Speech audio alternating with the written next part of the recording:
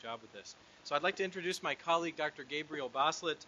Um, Gabe's an assistant professor of clinical medicine in the Department of Pulmonology, uh, critical care, allergy, and sleep medicine, uh, and has been an affiliate faculty member at our center for the last two years. He's also the associate fellowship director for pulmonary and critical care medicine and the medical director of the MICU at IU Health University Hospital.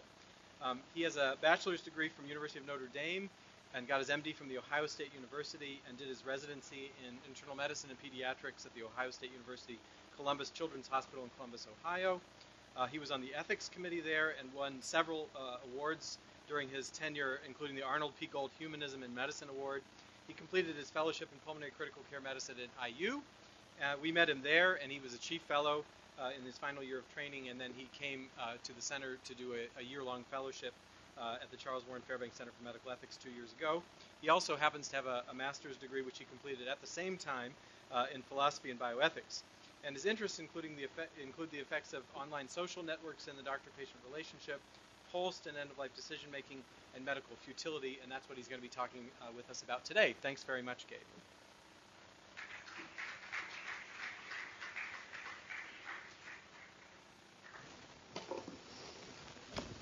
Thanks, Paul. Can you hear me?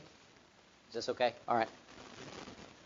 Um, when I when I came here and was trying to decide what to do and what to study um, as a pulmonary critical care fellow, I sat down with Paul, actually, uh, right when I got here, and said, "Man, I don't know what I'm going to do. I want to do something with ethics." I'd studied as an undergrad a bit, and Paul said, "Whatever you do, don't do futility. It's it's been done, uh, and and you'll see why." And and so uh, it's interesting that I'm giving this talk now. Um, where this came from, uh, we had a case that I'm going to describe in a few minutes um, during my fellowship of a, uh, of a gentleman. And um, I, I, was preparing a talk on this case and, and looked back at guidelines on medical futility from all the societies that I belong, including the American Thoracic Society, which is my which is really the largest society of pulmonary and critical care physicians. And this was their uh, last statement from 1991 called Withholding and Withdrawing Life Sustaining Therapy. And there were four things in this thing, three of which have become pillars of medical ethics, things like um, surrogate decision making and things like that. Um, but section three caught my eye. It said a life sustaining medical intervention can be limited without the consent of a patient or surrogate when the intervention is judged to be futile. And that sounded pretty reasonable to me. But I read on and it said it, it's, it, it defined a life sustaining intervention as futile if reasoning and experience indicate that the intervention would be highly unlikely to result in meaningful survival for that patient. Here specifically, meaningful survival refers to a quality and duration of survival that would have value that would have value to that patient as an individual. Survival in a state with permanent loss of consciousness, i.e., completely lacking cognitive and sentient capacity, may be generally regarded as having no value for such a patient. I saw this, and this did not jive at all necessarily with how we um, approached this um, in 2008, I guess this was. So um, I had a couple of Starbucks coffees one morning, and I wrote an email to the um, chair of the uh, Behavioral Science Assembly at the American Thoracic Society and said, hey, you know, this probably needs some work. Um, and we could probably do better. It's 20 years later. Was, I think it was coming up on 2011. It's, it's coming up on 20 years. Let's let's revise this. And I waited a bit, and he emailed me back um, about two weeks later, and I'd kind of forgotten about it. Said, "That's a good idea," I, and I've CC'd some people who may be interested in this. And my lit, uh, inbox was lit up for about two weeks with people from all around the country who were like, "Let's do this." Let, you know. So I wrote um, a project proposal to the American Thoracic Society that's been funded. It's been funded, funded for the last three years, and it's called the Statement on Futility and Goal Conflict in End of Life Care in ICUs. Uh, it's been a bit of an albatross, although it's been fun. Um, there, we brought together 20 uh, people from around the country. We've met in person three times. We have uh, uh conference calls all the time, um, and have, I've probably revised the manuscript 60 times. It's in what I consider to be hopefully its last revisions. I'm going to share some of what we've come, uh, come, come up with today. This will likely be published in the coming, I don't know, six months to a year as a multi society statement between the American Thoracic Society, the Society for Critical Care Medicine, the American College of Chest Physicians, um, the American Academy, or the American, or the Association of uh, the American Association of Critical Care Nursing, and uh, the European Society for Intensive Care Medicine, possibly the last group, but certainly the first floor four it looks like are going to sign on. So what I'm going to talk about today is going to be the arguments we lay out in this paper as to how this should be approached. So here they are. Number one, and, and, and I'm going to say right from the outset that Many of these are not new arguments. We, are, uh, we have to satisfy a lot of people um, in writing a multi-society statement. So it's not like we're completely rewriting things, but we are making some what I would consider to be some important uh, uh, incremental movements here. Number one, futility should be limited to those interventions that cannot achieve their stated goal. It's a relatively um, conservative view of futility, and it's the one that most people widely agree upon as the one, and I'm going to talk about it in a second. On the other hand, potentially inappropriate interventions are fundamentally different than futile interventions, and the disputes regarding them should be resolved differently. I'm going to argue that interventions within the ICU are fundamentally different than other medical interventions not within the ICU. I'm going to argue that inappropriate treatments, which I'm going to define, which physicians can unilaterally refuse, are extremely limited at this time. So things that are not futile, but, but are inappropriate, um, and which, which, which we feel that physicians can unilaterally act on, are very limited. And we'll talk specifically about what we mean by that. And physicians should not be the sole deciders in requests for potentially inappropriate treatments. And the potential for judicial intervention, and this may be, this may be controversial, potential for judicial intervention is needed if we're going to move beyond process-based resolution, pro- resolution um, processes. Sorry. So a year ago, Paul gave a really good talk on this topic. Um, this is actually one of his slides. And he said that there was a large group of, um, of, disputes that are resolved by clinicians at the bedside. That's the gray bar. A small group that are impossible to resolve, that are just entrenched value conflicts that will never be resolved regardless uh, of how uh, skilled the clinician, and that's the small yellow bar. And then there was a whole group of these, this sort of pink one with the arrow that were malleable, that seemed to be entrenched, but really with good, effective communication could be, could be uh, made to go back to being resolvable. And, and I fully agree with that. And so Paul talked about this, and I'm going to talk about this. Okay, I'm going to talk about, let's say that you have someone who's extremely skilled at communication and just have done a terrific job. There will still be a small number of, of these situations where resolution is not possible, simply because the value uh, ladenness of these decisions and there's simply entrenched value conflict. Okay? So th- this is what we're going to talk about. Here's the case. So this is the case that, uh, that brought this to my attention. 87-year-old man with terrible diabetes and had uh, bilateral below-the-knee amputations was admitted from an outside hospital being found down by his daughter, who was his caregiver, and she performed successful CPR in the driveway. She got a pulse back after about 20 minutes. He came to us after a few days, and at that time, his exam was consistent with a vegetative state with persistent myoclonus, which was simply jerking from his brain dysfunction. His prognosis was deemed grave by multiple consultants after a, after a very long period of time, weeks, in fact, um, when he didn't wake up. Um, and he had um, progressive renal failure and was deemed not a candidate for hemodialysis by the nephrologist. Despite re- repeated and prolonged empathic discussions with the daughter, she refused withdrawal of care and she insisted that he remain a full code. Um, I can tell you that there were multiple very skilled communicators who spoke with this daughter, and she was a vitalist. Her dad was a minister, and she believed that every heartbeat was a gift from God, and she was not willing to give up. Um, so much so that she wanted him to endure CPR to get those additional heartbeats. So, what we've done in the past, so through the 1990s, and this is kind of rehashing a bit of what Paul wrote, um, we had this whole, this blue circle represents this sort of group of of, of um, treatments that a lot of people thought were futile um, and, uh, or, or, thought were at least inappropriate. We shouldn't be providing them. Um, and so what we did was we tried to take this term futility and sort of retrofit it on top of all of these, um, these treatments and procedures and say, look, these are futile and we can't, we should not be providing them. The problem was is that the de- definition was all over the place. Um, and Paul pointed this out in a paper in 1999 published in the New England Journal um, called The Rise and Fall of the Futility Movement. And they, they, they concluded that uh, that among a couple other things, um, that physicians' lack of consensus regarding a definition was really what did in futility. Um, and, and you can see here that if you look at these, the only one that doesn't entail values uh, in some sort is the one in black, the one at the bottom.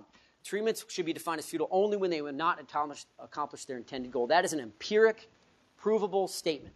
Okay, if it, that, that something will not intend, uh, achieve its goal. If it may achieve its goal, if it has a minuscule possibility of achieving its goal, then any decision not to provide it entails values. Values by me that it's not worth it from a cost or time standpoint, values by me that it's not worth it because of harm to the patient. Even if it's a minuscule possibility, it's, it, it, um, it, it changes it dramatically. Actually, Greg Gramelspacher, is he here? No.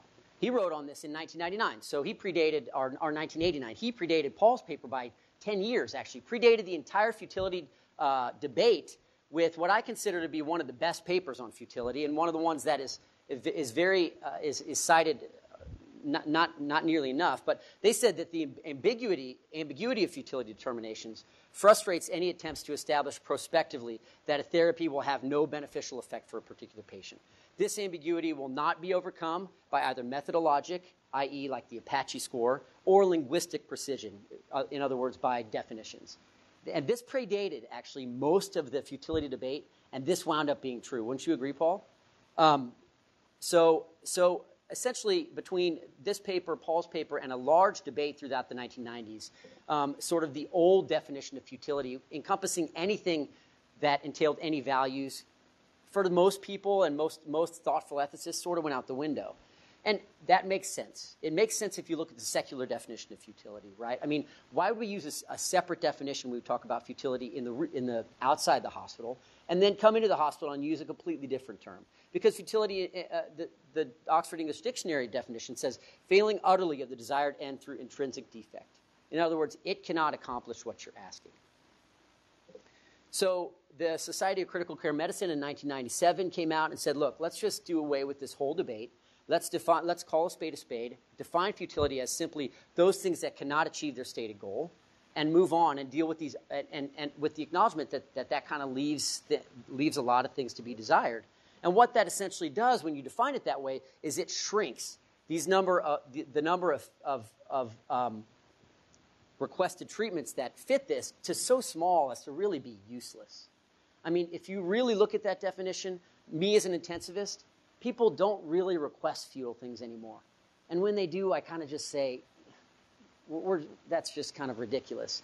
And when I write about this, uh, and I've, I've, I've, been trying to write a considerable amount about this, um, it's hard to come up with definitions of truly futile treatments. We come up with stupid stuff like antifungal therapy for, a non, or for an ST elevation MI, or tube feeds for someone with uh, perforated viscus because the family thinks it's going to heal them. It's things that we wouldn't even really, we wouldn't bat an eye about saying, yeah, we're, we're definitely not going to do that, okay? But, but then we leave this entire bucket, right? The entire blue circle of stuff that we want to be able to say, we, yeah, we don't think we should be doing this. And so what we've done is we've called these potentially inappropriate therapies. This isn't new. Other people have called this before. Um, but we, we need to acknowledge that this bucket is huge and the bucket of truly futile things is very small. So how do we deal with these? So the difference between these things, if we call futile uh, tre- treatment requests treatments which cannot achieve their goal, uh, we, are calling potentially inappropriate treatments a treatment which has a chance at achieving the goal, but which clinicians feel should not be provided. It's a very simple definition. The main, dif- the main difference is that futile treatments really, most everyone, not everyone completely, but most everyone agrees that truly futile treatments are based solely, are truly judgments about true futility are based solely on medical facts and judgments. They're usually empiric things. That absolutely will not work, which means that that is certainly within the purview of clinicians. Potentially in, in, inappropriate, however, includes both medical facts and um, um, values and, and what people see as the good, as, as what they consider to be the good life. And so it becomes much more ethically complex. and in a country like the United States or most Western countries, when you talk about ethically complex things, you, you, it, it becomes um, a quagmire because we live in a liberal political philosophy. And liberal political philosophies are, are based upon liberty um, as their primary value. So the a priori assumption, Locke said, is in favor of freedom, right? Freedom from coercion. So on the left is John Locke, on the right is John Rawls. You, probably most of you don't know them, but the most famous libertarians, honestly, and I use libertarian not in the way that we use it politically now, but in a philosophical sense, are the founding fathers. Um, they founded our country uh, on, on the premise that, we, that every man deserves life, liberty, and the pursuit of happiness. This is the, the coda of sort of libertarian philosophy. And this philosophy is grounded in the language of rights, right? So there are two features that are, that are absolutely imperative in, in, a, in a liberal society like ours. One is liberty, so freedom from coercion, um, and one is neutrality, that, that any time that you have laws and policies established by a governing body, that they should not, be, they should not espouse any basic, any view of the good life, right? I should not uh, tell Dr. Carlos here how he, is to, how he worships or what he pursues, what sort of art he buys, etc. And most people, this is in a democratic, Western, liberal society, these are really, in, I mean, we don't even think about these things anymore. They're su- such a part of our society. And this is um, this idea of non coercion and of uh, uh, freedom from coercion um, is, is so entrenched in our society. This is the Westboro Baptist Church. And they uh, go to soldiers' funerals and um, yell terrible things about homosexuals and a bunch of other ridiculous stuff that 99.9% of our of our of the body politic here thinks that this is absolutely ridiculous. But in April of last year, the Supreme Court said that they can do this. They're fully allowed to do this because to not allow them to do this is to infringe on their uh, freedom of speech and to and to unduly coerce them. So obviously, if we're letting these people say this ridiculous stuff at the funeral of a fallen soldier, then it's obviously uh, this this idea of liberty is sacrosanct uh, in our society. So if you look at liberalism and how it's affected medical ethics, prior to sort of um, the, the, the 1900s, most medical ethics codes did not include rights, right? It talked more about the, the, the Hippocratic Oath, talked more about, um, was much more paternalistic, didn't talk about the rights of patients at all until the Nuremberg Code in 1946. And then the AMA principles, which came about in the 1800s, didn't even use language of rights until 1980. So this is relatively new in medical ethics. And then if you look at uh, Quinlan and the Quinlan and Cruzan uh, uh, rulings, which really are two major underpinnings of our how we treat medical ethics in this country today, uh, talking about the removal of a ventilator and removal of a feeding tube, these were both um, decisions based in rights theory. So liberalism and, and the pluralism that it espouses, right, a, a, a pluralistic society, require that decisions that contradict a person's um, um, right to pursue a good life requires public justification with reasons that reasonable citizens would recognize as valid. This is the democratic process. This is why we, in, in November we all go and vote um, and decide who gets to take over the White House and, and uh, seats in the Senate and Congress because this is part of the ju- public justification process. When you turn on C SPAN, that's part of the process that we're going to through as a country to sort of publicly justify how we're going to at least limit people's notions of the good life to, to a small degree. But physicians act unilaterally all the time. All the time. So we can talk about liberal society and pluralism and sort of pat ourselves on the back and say that futility should be limited to those things which cannot choose their stated goal, but we refuse narcotics for headaches all the time. We refuse to provide fourth line chemotherapy, Paul may, uh, to a patient with a poor performance status who we think is going to do very poorly with the chemotherapy. And we refuse to provide antibiotics for upper respiratory infections all the time. Even though, literally, primary care physicians will have patients come in and say, I want an antibiotic. We will say, no, you don't need an antibiotic, or we're supposed to be saying no. You don't need an antibiotic, uh, and I'm not going to give it to you. So we, we unilaterally refuse as an, as an individual clinician all the time. But why not? We, we don't do it in the ICU. At least intensivists don't do it in the ICU. Why not? Well, let's take another case. 56 year old guy with metastatic colon cancer presents to his oncologist for evaluation after third line chemotherapy. He lost eight pounds since his last visit and becomes quite winded with trips to the bathroom. He's not been out of the house in the last two weeks. His CAT scan demonstrates widespread advancement of disease, and the oncologist recommends hospice referral, and the patient refuses and demands more chemotherapy. When presented this case, most people would, most oncologists would say, oh, if, if, they, if they truly believe that this person shouldn't get fourth line chemotherapy, would say, I'm not going to give him fourth line chemotherapy. I'm sorry, but hospice is your only option. So, what's different about that than what we see in the ICU than the, than the case that I presented before about the 87 year old man um, who had progressive renal failure and his wife insisted that we do CPR? I think there are three main reasons. Number one, patients lack decisional capacity in the intensive care unit almost all the time these things are requested. And throughout most of the rest of, of, uh, of the medical enterprise, specifically research, we protect these patients as, as vulnerable to the nth degree. Anyone who's filled out an IRB on patients in the ICU knows that it can be massively onerous simply to collect someone's uh, uh, basic information. There's significant practice variability, and I'm going to talk about all these at length. And then patients, I think most importantly, patients are unable to easily seek a second opinion which means that my decision to not provide something or to withdraw something becomes determinative. I determine, specifically determine the outcome based upon that decision. So I ICU patients' vulnerability, um, this lack of decision la- uh, uh, capacity based on um, the IRB guidebook from uh, Health and Human Services is protected for research. We protect this very much. Um, if you go to section four, uh, chapter four, section F, it is specifically on patients who lack decisional capacity and patients who are mentally incapacitated. So if we put in place extra safeguards for research protocols, why wouldn't we for decisions regarding life-sustaining therapies, which really um, will lead to a patient's death? This, I think, is not that strong of an argument, I'll be honest. However, there is a significant amount of variation in ICU practices um, geographically and across the country. This is from the Dartmouth Institute. If you've never seen this, it's very fascinating, actually, to look at. Um, this uh, graphs are, uh, shows geographically uh, ICU days in chronically ill patients in the last six months of life. And you can see that they range from 4.6 to 10.7 down to as low as less than 2 um, in a lot of places in the West. So there's obviously a, a huge variation in uh, geographically in how we use ICU services in general.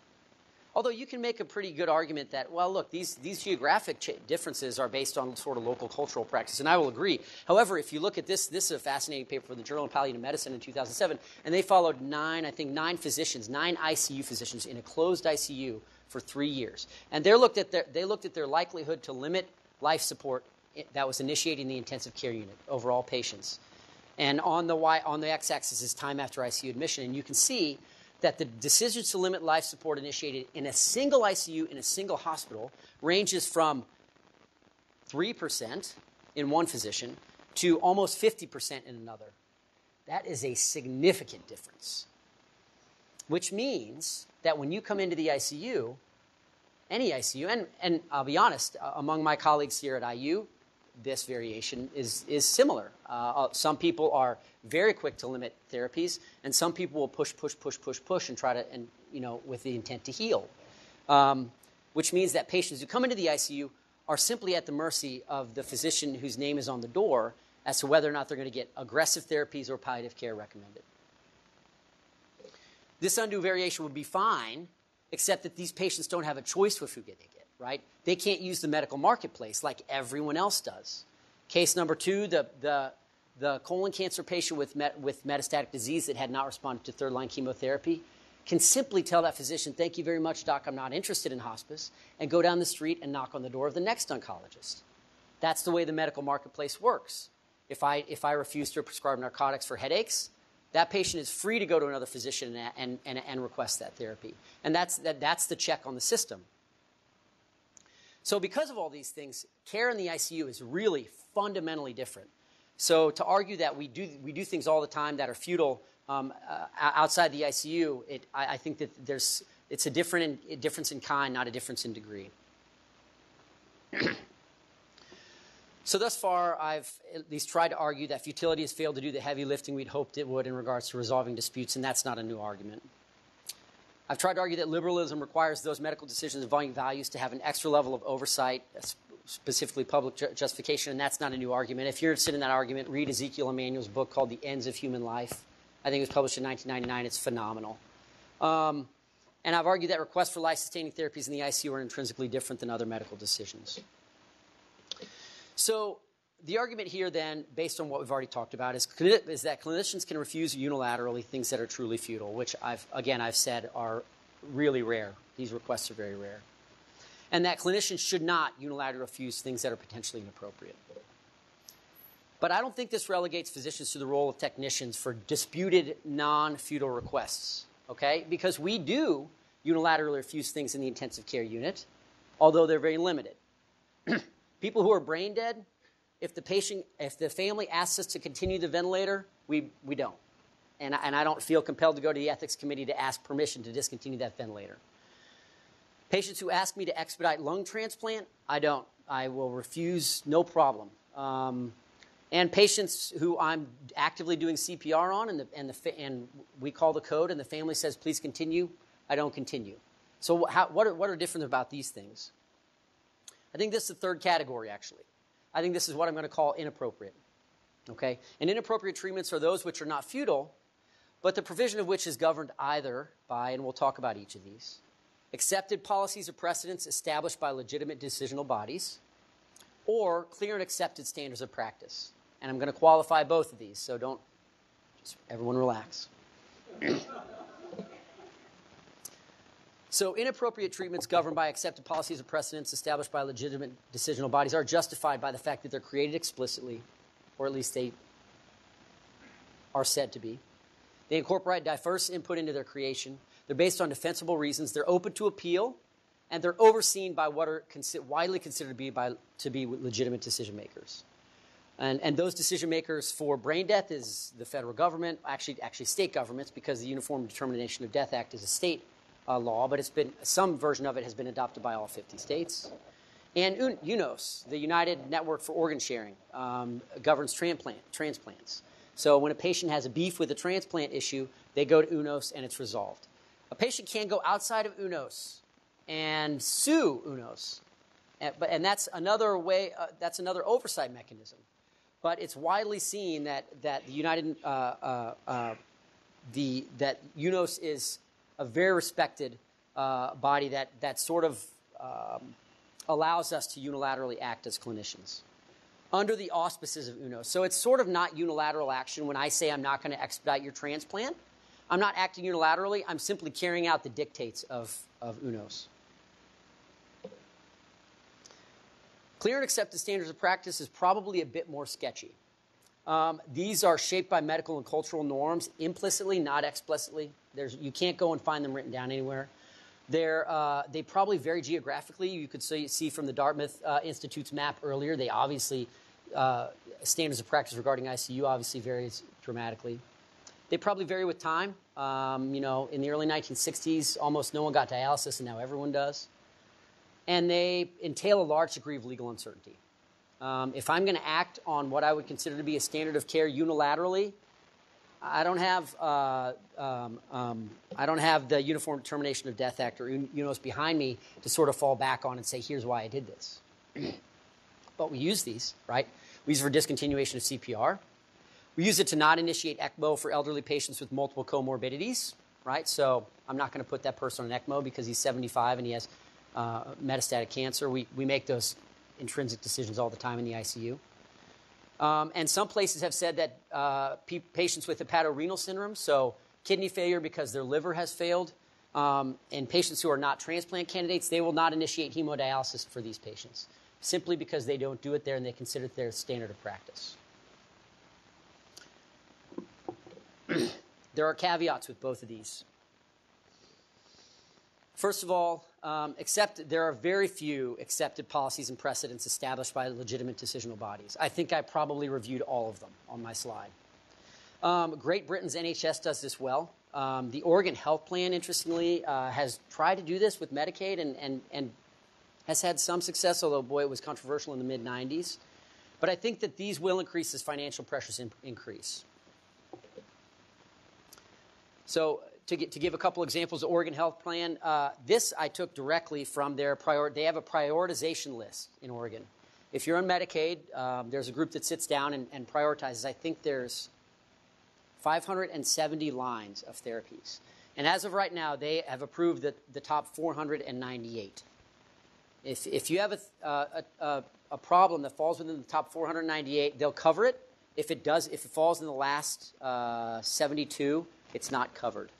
Um, it includes this treatment with intent to pro- treatment for advanced cancer. Sorry, with intent to prolong survival is not covered for service. Is not a covered service for patients with any of the following. This is in there. I don't know how much they use this because it's not very controversial anymore, and I don't think they use this that much. But this is on the books. I, I, you can go to this website and see it. I accessed it just a few days ago. Um, if you have a median survival of less than six months, with or without treatment, you should not get chemotherapy. We will not play for chemotherapy. If the tr- expect- expected uh, treatment has less than 50% chance of, uh, of working and the median survival with that treatment is 6 to 12 months, you won't get it. Um, if it's more than 12 months, but the, uh, you're expected to improve median survival less than 30%, you won't get it, et cetera, et cetera. So things like Tarceva for lung cancer is not covered by Medicaid in, in Oregon. And actually, that's, um, there have been lawsuits about this. So it is controversial, but Oregon has tried, sort of, and failed miserably. There's great papers on the Oregon Health Plan experiment from 1994. Uh, as far as clear and accepted standards of practice, the, the main problem with this is that there is no legal safe harbor. Okay, if you're going to go out on a limb and say that it is a standard of practice to not provide hemodialysis for a patient with hepatorenal syndrome, you better be darn clear that in your area that is firmly entrenched. And the problem is, is that if you get sued, there's always a, a nephrologist from somewhere else that say we do this all the time. Um, and that's because standards of care vary based on local medical norms, cultural priorities, geographically, with time, etc. And they're dynamic, right? So dialysis, uh, dialysis is widespread now because CMS decided to make everyone who, was, who had re- end-stage renal disease um, a Medicaid recipient in the 1960s, right? Prior to that, actually, in, in the state of Washington, there was a panel of people who decided whether or not you got dialysis. And most feel, uh, most people, most ethicists, and most clinicians feel that um, there are very few clear and accepted standards of practice that allow for unilateral decision making. So, this is really where we're at, right? So, we have this tiny box that's futile, this other tiny box that's inappropriate, and we still have this gigantic bucket of what of, of continued potentially inappropriate therapies. And what are some of those? So, should we be providing dialysis for patients with hepatocellular renal syndrome? I would argue here is potentially inappropriate, not inappropriate, just based on the way that we practice um, in Indianapolis. Should we be providing critical care for patients in a per- persistent vegetative state? Should we admit patients to the ICU uh, with advanced dementia in declining health who are a failure to thrive? And should we provide CPR for a patient with advanced metastatic cancer? I think these are all reasonable. I think there are a whole myriad more. So the question then is how and who decides? So there's options. Do the physicians decide? Do the patients get to decide? Do they just get to sort of um, reduce us to the role of technicians in these, in these issues? Does a third party decide? Or do we let society decide? I think these are all on the table. I'm going to argue that physicians should not automatically, automatically have unilateral decisional capacity in these. For the three reasons that I talked about earlier that separated ICU decisions from other medical decisions, which are the first three. And then the fourth one that I'm going to talk about now called The Generalization of Expertise, which was um, a paper published by Robert Veatch in 1973. And the argument for the generalization of expertise says this Scientific expertise in an area does not entail that the person who has that expertise um, has the knowledge of how to carry out, or how or whether or not to carry out that um, piece of technology. Okay, let me give you an analogy because that's confusing. So this guy came up with this, which created this, right? But Einstein's knowledge of E equals mc squared did not make us automatically turn to Einstein and say, okay, who do we drop this bomb on? In fact, people would have thought that's ridiculous, right? So just because Einstein had the technical knowledge to come up with E equals mc squared, which directly led to the atomic bomb, did not mean that we automatically thought he had the normative knowledge of how that should be utilized. I think the same thing works in the intensive care unit. Just because this guy knows about ventilator waveforms doesn't mean I should automatically be the person that does this. Okay? I actually think the analogy works really well. I'd like to hear if anyone doesn't. And that really is the crux of Veatch's argument, and it's a very compelling argument. So, the way that we've gotten through this, uh, sort of since the late 1990s, was to go to process based dispute resolution. First published by the Society of Critical Care Medicine in 1997 by Bob Truog, who's actually working, um, uh, is on the writing committee for the current paper that I'm writing. Um, and then uh, the American Medical Association came out with a very similar statement in 1999 saying we should go to process based resolution. Um, and then the bottom is actually the, the, the, statute of the Texas Advanced Directives Act, which sort of codified it in law and gave uh, legal safe harbor to physicians who carried that out. So these are the five things that we have said are ethically needed in order to justify, uh, a, a, a, sorry, in order to have an ethically defensible process resolution uh, procedure. Most of these are included in what was previously written. Some of them weren't, and we're going to talk about those probably more than anything else. The first, and we emphasize this, which was the subject of Paul's talk a year ago, is continued engagement, communication, and emotional support for the surrogates. This is, we have, in our paper, we, in our manuscript, we have four recommendations. The first one is that uh, institutions and physicians gain knowledge and, commu- effective communication skills. The second um, um, element is review by interprofessional hospital review committees. This isn't new. The third is opportunity for transfer to a willing provider. This isn't new. The fourth is availability of an independent appeals mechanism. This is new. And the fifth is, is having institutional support of the process. This isn't new. So, four of the five, we simply come together and say, look, these five societies all think that these are worthy, but we think that this should go in there too. And we'll talk about all of them. So, continued engagement is very important. This process and the fact that you think that something is inappropriate should not be viewed as a trump card to stop discussing things with the family. Okay? I think that's what a lot of clinicians do. We're not providing this. I'm done talking about it. Let's go get the ethics committee involved.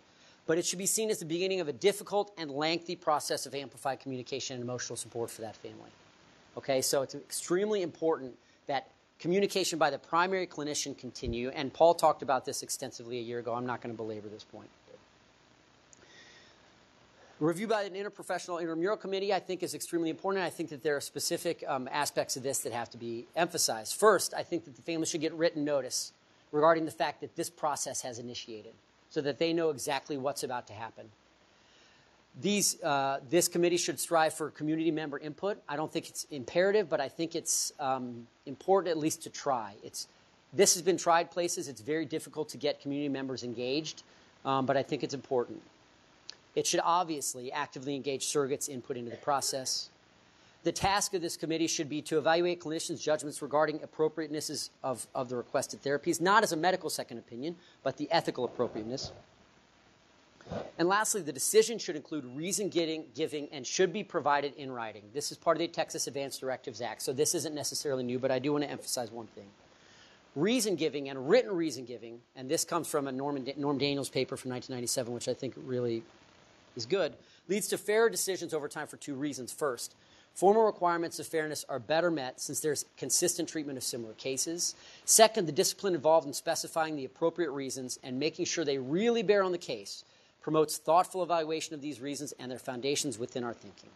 To the extent that we are then better able to discover flaws in our moral reasoning, we are more likely to reach fair decisions. There's something about putting things in writing that makes you be very precise about your language and your thoughts, and I think this is extremely important. I think there's another, I think there's a third actually important reason for important uh, function of reason giving, and that's because it sets local precedent, right? So let's say we got this committee going and we kept a book of these decisions that we've had. When similar cases come up, much like case law, we can at least re- go back to those and say, okay, here was our decision in a very similar case, why we came to it. Is this fundamentally different or not? The next element is opportunity for transfer to a willing provider. This helps clarify standards of care, right? So if your hospital is trying to seek willing providers for 20 cases in a row and they find someone 20 times in a row, you guys may want to, we may want to reevaluate whether or not we're really sort of picking the right cases um, to refuse care. And the clinicians in the institution should share responsibility with the family in seeking this out. This is very overwhelming for a family. They don't know how to call St. Vincent and get a physician on the line and sort of give them the, the idea. So rather than throwing it into the family's lap, we should be facilitating this process, and I think most of us do when it really comes down to it. This is the one I think that is uh, controversial, and, I, and I'm happy to hear people's thoughts about this. The fourth is availability, availability of an independent appeals mechanism um, for those cases that people want to appeal. And several of the reasons uh, Bob Truog and, and J.P. Burns, uh, who are both participating uh, in the writing of this manuscript, have written that these ethics committees look exactly like the physicians who are making the claims that this is inappropriate, right? I, in fact, I'm on the ethics committee here. So I frequently participate in these. I don't participate when I'm the attending physician, but I do when it's my colleagues. So there seems to be a bit of a conflict of interest, and really to, to imply that I am fully impartial, I'm not sure is being completely um, forthright. And the availability of an independent appeals mechanism, at least the potential, ensures that public justification is available for hard cases. Doug White and, and Thad Pope. Thad Pope's a lawyer from, he's now at Widener University. He's actually participating with us in this manuscript. Um, wrote a paper in uh, JAMA uh, that came out a few months ago and talked about this. I actually helped them write it, but they could only have two uh, authors. I was really pissed, actually. Um, and they said that, that allowing for judicial intervention, they say specifically judicial intervention. We don't say that in the paper, we say third party appeal. But really, what we're talking about in the United States is judicial, is, is appeal to a court. Um, there are three uh, reasons why this may have benefit. First, it encourages intensive communication. If I know that in the course of this process that you can go to the court and tell the court, you know, tell on me and ask them to sort of make me do this, I'm going to be a lot nicer. And I'm going to continue the communication process. More importantly, I think that uh, a couple of these cases, getting to a court would really cast a long judicial shadow for, uh, for extra, extrajudicial solutions. One of the problems with futility is there are no judgments. There are no legal, there's no, we have no legal guidance on whether or not the courts think that it's okay that we unilaterally do or don't do things. So look back to Cruzan and Quinlan, right? So Quinlan said that uh, you could withdraw a ventilator on a patient um, with a, you know, uh, period. I'm, I'm going to simplify it that way. We don't have cases going to court now about whether or not we can withdraw a ventilator. If we did, I would never be out of the courtroom. I'm doing it three times today, actually, over at, at university. So, uh, you know, people have argued for a long time to keep these things out of the courts. And, and what we argue is that one of the problems is that we fought so hard to keep these out of the courts that we have no guidance. A couple of these, these sort of um, paradigmatic cases going through the courts would, at the very least, provide us with some guidance on how the courts think we should be doing this and how, and, and how the courts think we should be doing this, at least theoretically, is a surrogate for how society thinks we should be doing this. And lastly, it was shine a spotlight on unresolved and undiscussed social issues, right? We don't talk about this. We don't talk about these issues. Uh, you don't hear about it on Dr. Oz or anywhere else. Um, and it, at the very least, these cases coming up, they do it in Canada. They've done it a good job in Canada. They had the Maraachli case. They have another case right now. Um, the um, Rasouli case that's still going through. It's in front of the Canadian Supreme Court. They do a good job of talking about it, partly because they, have, they, they work on a healthcare budget. But these are the three reasons why uh, White and Pope argued for this, and these are one of the reasons why we're saying that this should be part of this process, is at least allowing the, the, the family to know that if you want us to, if, if you disagree with this um, in a timely fashion, you can go to court and, and ask the court to, to, to um, compel us to provide this therapy. There are other potential third party mechanisms. The Ontario Consent and Capacity Board is a lawyer, a physician, and a layperson in the state of Ontario, and it determines things like this. When there's disagreements between physicians and um, patients regarding uh, these decisions, it goes before this board. And often they decide that it's not appropriate to provide some of these therapies. The Joseph Maraachli case was a young kid with neurologic, uh, with a severe uh, progressive neurologic uh, problem, was on a ventilator, and, or, or, or was not on a ventilator, but the family requested tracheotomy, and the hospital said no way. And it went before the uh, Ontario Consent and Capacity Board, and the Consent and Capacity Board said no way. And so they moved him down to um, St. Louis and got it anyways. Um, so, uh, but it's a very effective way that they go about keeping out of the courts, but keeping it with sort of a public that you can go on and look at and read the decisions of the Ontario Consent and Capacity Board for any of the decisions that they've made. You can read them, uh, the Maraachli decision. It's really fascinating. And then prospective collective decision making bodies. And actually, uh, the National Health Service in Great Britain has done this actually pretty well. They don't do it anymore, but they did. So they had uh, they have something called the NICE Citizens Council, right? And that's 30 people that they randomly draw out and say, "We want you to come together and discuss and write up a paper on a question that we're going to put in front of you." And one of the questions that they put in front of them was, "Is there a preference to save the life of people in imminent danger of dying instead of improving the life of people whose lives are not in immediate danger, or saving the lives of many people in future through disease pre- prevention programs. This was their Citizens Council report on the rule of rescue. And NICE, which determines how they utilize their fixed healthcare budget, uses this input to determine, uh, to determine how they prioritize uh, things. It's, I'm not going to tell you what they said. You can go online and read it. It's available online. It's fascinating. They hedged, uh, like everyone assumed that they would. Um, but this is something that they do very well prospectively in Great Britain. Lastly, we'll talk about institutional support for the process. Um, uh, this is present um, both in, um, in, in the Texas Advanced Directives Act. Obviously, has has the um, supreme institutional support of the state. Um, but obviously, this provides credibility to controversial decisions and also supports clinicians to help both diffuse moral distress, right? Not only physicians but nurses at the bedside, but also to help physicians through this process. If they're going to have to go to court to defend this, we're going to we're going to need help from the institution to say that, yes, we do back this up. Let's talk about some caveats regarding this, what we've laid out as what we think to be the most ethically defensible process based resolution. Um, the hope is that it will bring about a sort of local process of precedent type decisions with potential for third party appeal. So that these precedents can provide guidance to the, to the local clinicians on how we do things around here okay? and that over time, the whole of these decisions will help provide firmer guidance rega- regarding what local standards of care are. We don't have anything like this right now. so if you look at it this way, so if we think something's potentially inappropriate to go through the procedural resolution process, the thought was that the, the number of, of uh, treatments that are considered inappropriate over time slowly will grow. Without having to go to court, without having a judge to get involved, will slowly grow because we determine what we think is ethically defensible and, and is appropriate. So there isn't a lot of that's unique in what we're putting together in our statement, but here are the things that are. The creation of a third category of inappropriate treatments, things that are, don't meet um, the criteria of futility, but that nonetheless physicians can unilaterally um, not provide. It's a very small list now, but again, like I said before, it's a dynamic list that, that can grow if we do sort of the hard work of getting through some of these cases. And acknowledgement that the potential for extramural intervention is needed for movement on this issue. The Texas Advanced Directives Act specifically denies families the ability to go to court to request that the, that the um, treatment be compelled.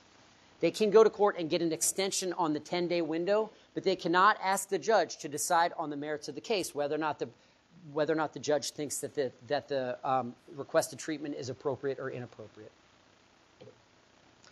So I, I, I provided a lot of arguments, and we've been through a lot right now, and it's perfect timing. We have 10 minutes. But bedside clinicians should not be looked to as the ultimate arbiters in disputes regarding potentially inappropriate treatments. We are certainly have a major, uh, a major role in the process and drive it more than anyone else. Um, but I don't think I think that to say that we can simply decide what's appropriate and inappropriate, it just it hasn't worked thus far. There's no reason to think it's going to work going forward, and I don't think it's even ethic- ethically justifiable. And procedural resolution processes must engage, must engage socially legitimate arbiters in order to move the debate toward establishing usable appropriateness signposts. If we're going to know better in the future what's appropriate and inappropriate, we're going to need some societal input. And the most efficient way to do that in the United States is through the court system. I want to thank Doug White, who's my co chair on this project with the American Thoracic Society, Charles Warren Fairbanks Center for Medical Ethics, who, if I hadn't done the fellowship uh, for all of you new fellows, uh, this, I, this would never have happened. Um, I want to thank Paul for his uh, urging me not to do anything with futility, um, and also for your uh, talk uh, a year ago, which really kind of set up uh, perfectly a lot of what I talked about in the American Thoracic Society for funding the project. Um, I'm happy to take any questions.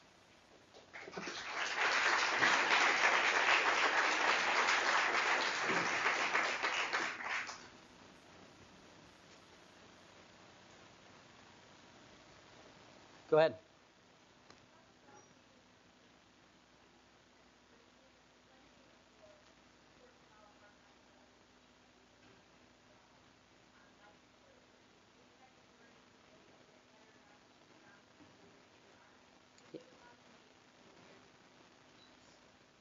Yeah. So the yeah the question the question is how involved should how involved do I think the court should be and how involved do I think they anticipate that they will be given that a lot of these are time sensitive, right?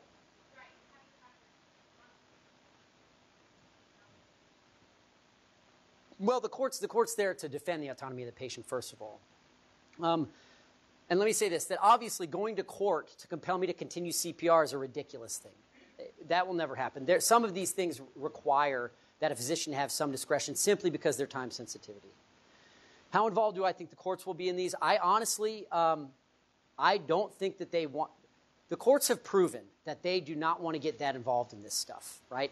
Anytime that physicians have gone to a court to say, hey, this person's asking us to do this and we don't want to do this, the court says, what are you doing here? I don't, I'm not a physician. I'm not going to answer this question. So I think that, that if, we have put to, if we've put together an intramural due process that is explicit and uh, somewhat legitimate and very well set out in, in a policy that anyone who goes to the court and say, hey, we want them to provide this, and the court to look through this process that they've, they've gone through, that we've gone through, I think any court would say, we, there's, no, there's nothing to do here. The, the, you, they've done, you've done their due process, they've done their due process, and, and this, is a, this is a reasonable process to resolve this. Now, we could be extremely wrong, and this could backfire horrendously, right? If there's courts that want to get involved and want to um, promote a vitalist sort of view that every heartbeat is worth it, then we're kind of really screwing things up. But we won't know until we go. And we're stuck in a quagmire right now of, of not knowing. So I, I, I don't think personally that they're going to want to get that involved in the sort of granularity that you're talking about at all. I don't think they're going to even want to get involved from a 30,000 foot view. I think that what they're going to want to do is look and say that, see that we have a reasonable process in place that we follow and that we follow that process.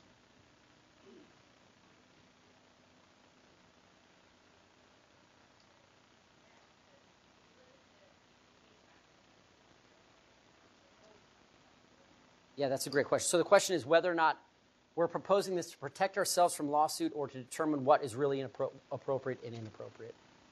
That's a really that who are you? That's a really really good question. Okay. Oh.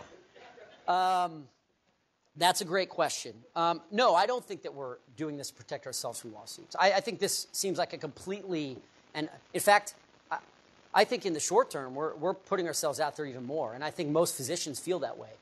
I, I, think that when this, if, if this is the final version of this statement that gets published, I think there will be a lot of people really upset that this is what we've said. Because we are saying, we are inviting the courts to become involved.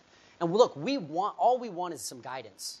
Uh, there was a case, the Betancourt case. You know the Betancourt case? The Betancourt case was in the state of New Jersey and was going to be the futility case. It was being argued on the merits of futility. And the problem, as with most futility cases, is Reuben Betancourt died before they could before they could rule. Now the court had a chance to rule anyways, and to say that this had such bearing, wide bearing on society in general, that we're going to go ahead and rule, even though it's moot, and they didn't. They ruled it moot. So we desperately, simply want some guidance from the courts as what I would consider to be the, the societal barometer as to how they want us to handle these cases. So I don't consider this to be a way for us to avoid lawsuits. I actually think this is a way we may get into more trouble in the short term than, than, than need be, but we need, some, we need some of us to do this. Okay? Reuben Betancourt, or uh, Gordon Rubenfeld in Canada is doing this right now, uh, and they have the, the Rasouli case uh, that they've decided to circumvent the Canadian Capacity and Consent Board, and that's, I mean, he's really hanging his neck out there. But, but we need to know. So it's a great question. Go ahead.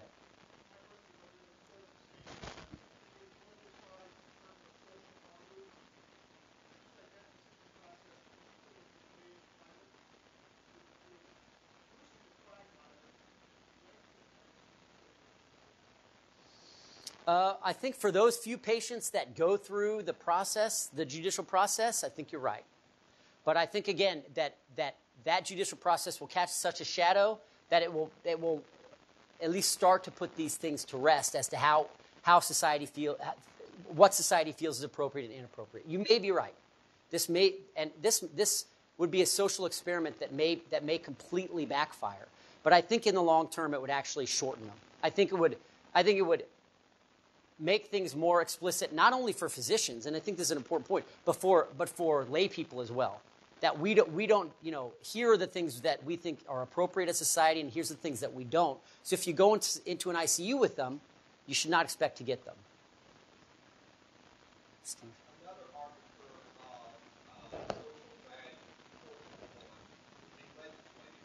Mm-hmm.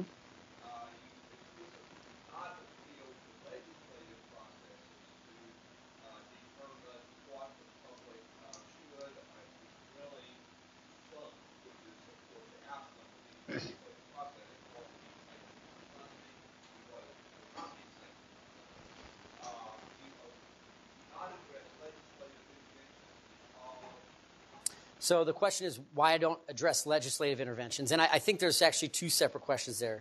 If I can't, can't see, even correct me if I'm wrong. Um, one is you're talking about funding mechanisms. And, and I'll be honest, it, the, the hand will be forced when we work under a federal health, or not a federal, but a national health budget. Right? Once we realize that we, we, we have, have only X number of dollars to spend on health care, a lot of these will become, will, will go through legislative processes. And I think that that's a, that's a mode of public justification which is reasonable. Um, the other argument that, that you know, because part of what I'm arguing here is that the Texas Advance Directives Act has, has an intrinsic flaw in that these individual cases can't go before the courts. And I think a very reasonable rebuttal to that is to say, look, the Texas Advanced Directives Act went through a public justification process, right? It went through the legislature. It was signed by Governor George W. Bush. Um, and I think that is a um, reasonable argument. Uh, my counterargument to that would be to say the problem with the Texas Advanced Directives Act is you keep everything behind a veil of, a veil of secrecy in the hospital, and so it's not discussed as a societal level at all. It's discussed by an ethics committee in a boardroom and never, and never made explicit at all. So it, while it's great for Texas, um, although a, a, lot of people argue that it's not great for Texas, it doesn't do anything for the rest of us who don't have legislatures who, who, who want to move this forward at all. It's, a, it's not a great argument, but it is one. It's a good question.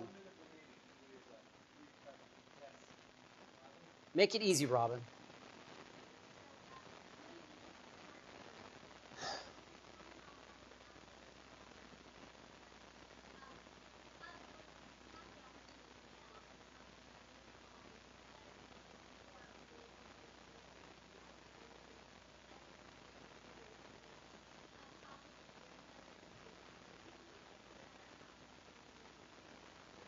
Yeah, I mean, one of the reasons that we are getting all of these groups together to write this is to sort of compel hospitals to sort of take a put a foot forward in this process. I'll be honest, I, I've been surprised by the amount of institutional support when we've had these issues come up at the ethics committee here. Um, for the most part, um, the administrative administration, we always thought it would die at legal, right? I mean, that's what we always said um, a few years ago before we even tried this, but it, it hasn't. Um, legal's usually very supportive and saying this seems totally reasonable and let's go ahead. And they're sticking their heads out there big time.